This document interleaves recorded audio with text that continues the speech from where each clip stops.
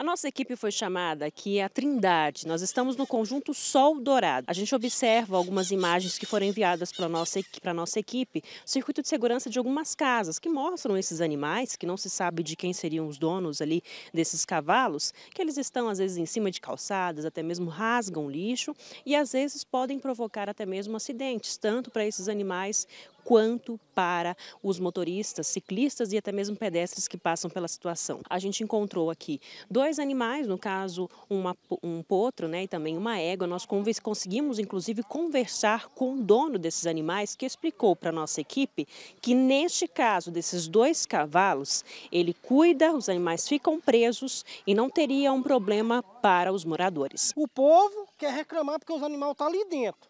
Pelo menos está preso e tem um cadeado lá. Ó eu coloco o cadeado para elas não sair. Eu coloco elas lá, elas comem aqui de dia. O senhor tem a responsabilidade do senhor com seus animais. Né? Dos meus animais eu tenho responsabilidade. Se eles fazerem alguma coisa, se um carro bater neles alguma coisa, eu vou pagar o conserto do carro e pago também se sofrer alguma consequência com a, pessoa. Em outros bairros, esses cavalos, em maior quantidade, até mesmo oito animais juntos, estariam por aí andando sem um rumo certo e até mesmo não se sabe quem seria os donos desses animais. Pouco tempo atrás, teve inclusive um rapaz que morreu é, ao se acidentar com um cavalo. Ele estava de moto e bateu no cavalo e infelizmente veio a falecer, né? Então a gente tem medo de um, que haja um novo acidente e a gente pede para as autoridades, a quem compete, é, tomar providência. Outra reclamação dos moradores é referente a essa quadra aqui de esportes que a gente observa. Parte ali do muro já foi derrubada, a gente observa também a grama que está ali sem cortar e um imóvel que chama a atenção, que ali ao fundo serviria, na verdade, né, para ser um vestiário, mas o que a gente observa é que está abandonado. De acordo com os moradores, o local serve até mesmo de mocó para criminosos. Já tem quatro anos mais ou menos que eles nem. Olha aqui, ó.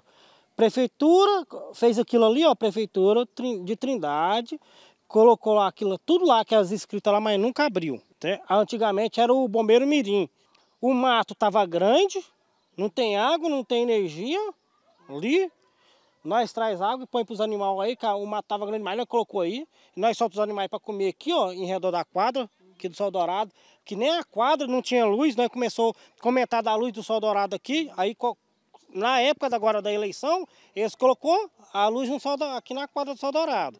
Os caras vêm lá da Aparecida de Goiânia, lá do, do Cedro de lá para cá, e fica naquelas duas, três, né? Três casas de lá, fica no banheiro. Então a gente pede às autoridades competentes para olhar com carinho para essa região aqui.